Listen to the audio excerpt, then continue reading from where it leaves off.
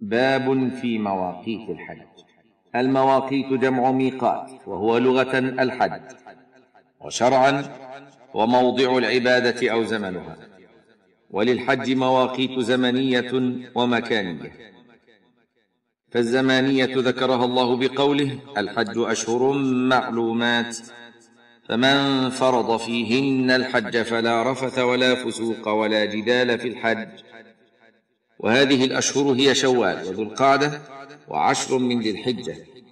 أي من أحرم بالحج في هذه الأشهر فعليه أن يتجنب ما يخل بالحج من الأقوال والأفعال الذميمة وأن يشتغل في أفعال الخير ويلازم التقوى. وأما المواقيت المكانية فهي الحدود التي لا يجوز للحاج أن يتعداها إلى مكة بدون إحرام. وقد بينها رسول الله صلى الله عليه وسلم كما في حديث ابن عباس رضي الله عنهما قال وقت رسول الله صلى الله عليه وسلم لأهل المدينة ذا الحليفة ولأهل الشام الجحفة ولأهل نجد قرن المنازل ولأهل اليمن يلملم وقال هن لهن ولمن أتى عليهن من غير أهلهن ممن أراد الحج أو العمرة ومن كان دون ذلك فمن حيث أنشأ حتى أهل مكة من مكة. متفق عليه. حاشية.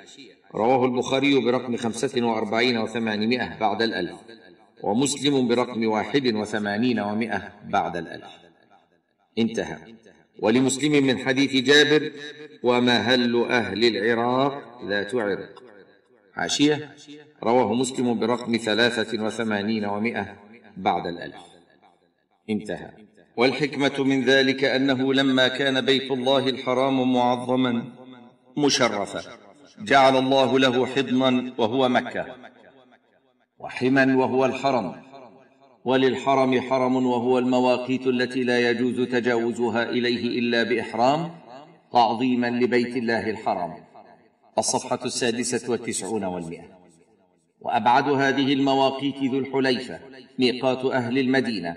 فبينه وبين مكة مسيرة عشرة أيام وميقات أهل الشام ومصر والمغرب الجحفة قرب رابغ وبينها وبين مكة ثلاث مراحل وبعضهم يقول أكثر من ذلك وميقات أهل اليمن يلملم بينه وبين مكة مرحلتان وميقات أهل نجد قرن المنازل ويعرف الآن بالسيل وهو مرحلتان عن مكة.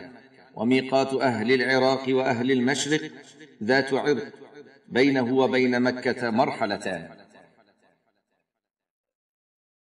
فهذه المواقيت يحرم منها أهلها المذكورون ويحرم منها من مر بها من غيرهم وهو يريد حجا أو عمرة. ومن كان منزله دون هذه المواقيت فإنه يحرم من منزله للحج والعمرة.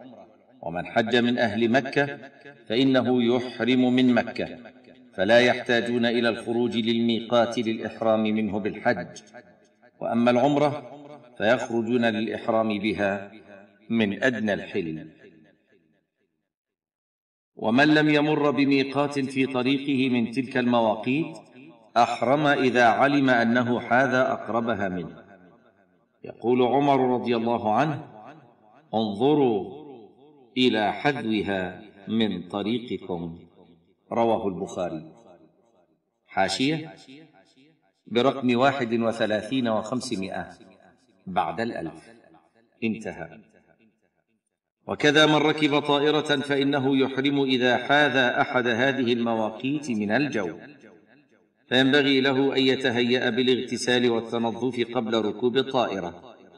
فإذا حاذ الميقات نوى الإحرام. ولبى وهو في الجو. ولا يجوز له تأخير الإحرام إلى أن يهبط في مطار جدة. فيحرم من جدة أو من بحرة كما يفعل بعض الحجاج. فإن جدة ليست ميقاتا وليست محلا للإحرام إلا لأهلها أو من نوى الحج أو العمرة منها. فمن أحرم منها من غيرهم فقد ترك واجبا هو الإحرام من الميقات فيكون عليه فدية. وهذا مما يخطئ فيه كثير من الناس فيجب التنبيه عليه. فبعضهم يظن أنه لا بد من الاغتسال للإحرام فيقول أنا لا أتمكن من الاغتسال في الطائرة ولا أتمكن من كذا وكذا. والواجب أن يعلم هؤلاء بأن الإحرام معناه نية الدخول في المناسك مع تجنب محظورات الإحرام حسب الإمكان. والاغتسال والتطيب ونحوهما إنما هي سنن وبإمكان المسلم أن يفعلها قبل ركوب الطائرة وإن أحرم بدونها فلا بأس. فينوي الإحرام ويلبي وهو على مقعده في الطائرة إذا حاذ الميقات أو قبله بقليل. ويعرف ذلك بسؤال الملاحين والتحري والتقدير فإذا فعل ذلك فقد أدى ما يستطيع.